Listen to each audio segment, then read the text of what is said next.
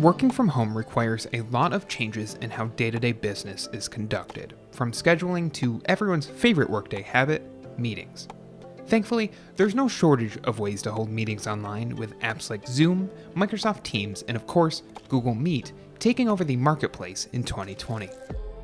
Of course, just because you've moved your conferences to Google Meet doesn't mean you suddenly become a master of how Google Meet works.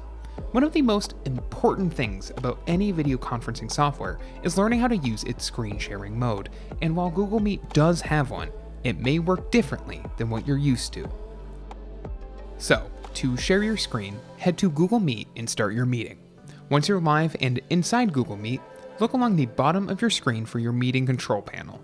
This is where you can view your meeting details, share invite codes, control your mic and webcam settings, and even turn on instant captions. To the far right of this control panel is the option we're looking for.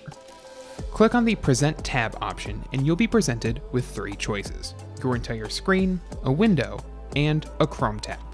Each one does load a different window inside of Google Meet before screen sharing turns on.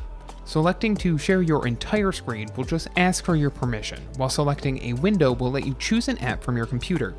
Selecting a Chrome tab also asks you to select which tab you want to share, but limiting yourself to a single tab also gives you the benefit of sharing audio. This is the only way to share audio in Google Meet, so if that's something you want to do, make sure whatever you want to share with your fellow callers can be in a Chrome tab. Once you're done sharing your screen, just click on the You Are Presenting icon along the bottom of the call, then click Stop Presenting. If you're on mobile, things work basically the same way. You can present your entire phone screen by tapping on the triple dotted menu icon in the upper right corner of the screen.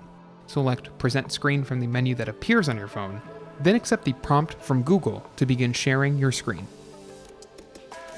If you liked this guide, make sure you subscribe for all sorts of videos covering Google Meet and other technology. And make sure you check out one of these videos we think you might enjoy.